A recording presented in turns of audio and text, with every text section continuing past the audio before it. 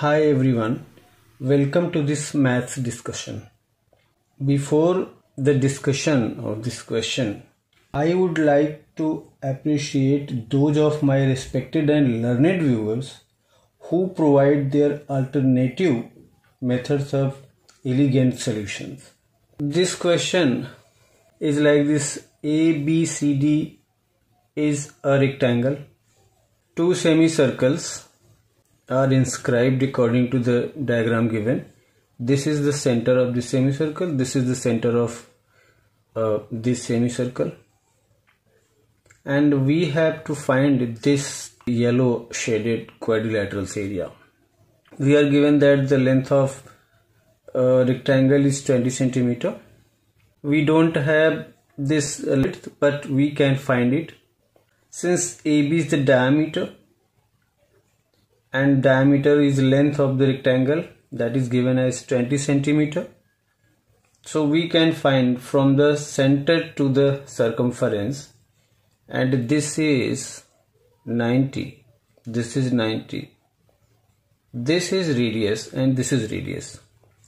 This is radius. So this is the midpoint of AB and AP is equal to PB is equal to 10 and therefore PR also radius which is 10 so this CB is 10 RP is 10 and DA is 10 this is 10 we can use this triangle right angle triangle to get AC AC square is equal to AB square plus BC square.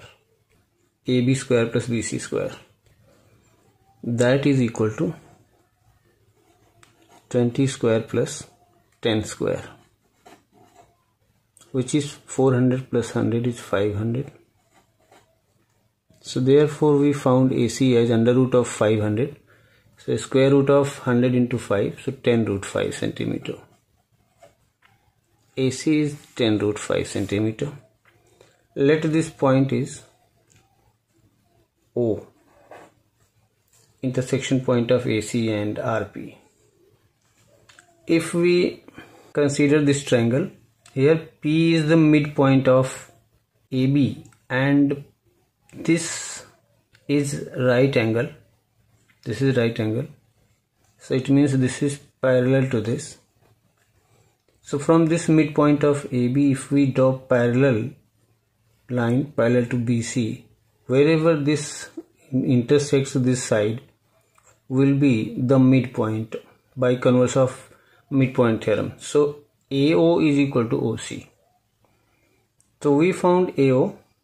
AO is equal to 5 root 5.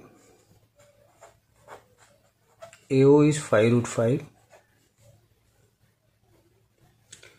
Now in case of tangent and secant, if there is a circle and there is a tangent touches the circle at this point, let us suppose this exterior point is A this point is P and this is the secant. Let us suppose this is B and this is C. So by tangent secant theorem AP square is equal to AB into AC using this concept here AP square this is the tangent touches the semicircle at this point. AP square is equal to AS into AC AP is 10 because this is the midpoint so AP is 10 so 10 square is equal to AS into AC but AC we found as 10 root 5 so AS this is, AS is equal to 100 over 10 root 5 and that means 10 by root 5 which is 2 root 5 So we found AS as 2 root 5. But this whole AO is 5 root 5. So SO is equal to 5 root 5 minus 2 root 5 which is 3 root 5. Similarly, we can use CR square is equal to CQ into CA.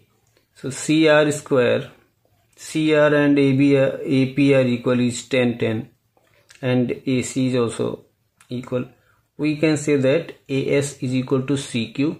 And this is also 2 root 5 and this is also this is 5 root 5 so 3 root 5 we can say that this is the midpoint of sq. And this is the midpoint of rp. So this quadrilateral is a parallelogram and in case of parallelogram diagonals intersect uh, the parallelogram in four triangles having equal area. So this area is equal to one fourth of the area of the parallelogram this is base for this triangle. This is the base for this triangle. Area of this triangle is to area of this triangle is equal to this is to this. So area of triangle APO is equal to half into AP is 10 into height OP is equal to half of RP which is 5 so that is equal to 25 centimeter square.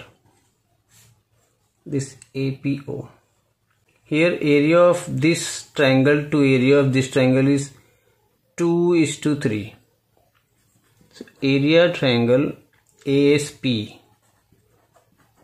is to area triangle PSO is equal to 2 root 5 is to 3 root 5 which is 2 root 2 is to 3 so out of 5 this area is 3 so therefore area of triangle PSO is equal to 3 fifth of this triangle's area APO area triangle APO which is 3 fifth of 25 5 5 are 25 5 into 3 is 15 centimeter square. Therefore area of parallelogram PQRS or shaded area PQRS is equal to 4 times area of this triangle. Area triangle PSO which is 4 into 15 that is equal to 60 centimeter that is the answer.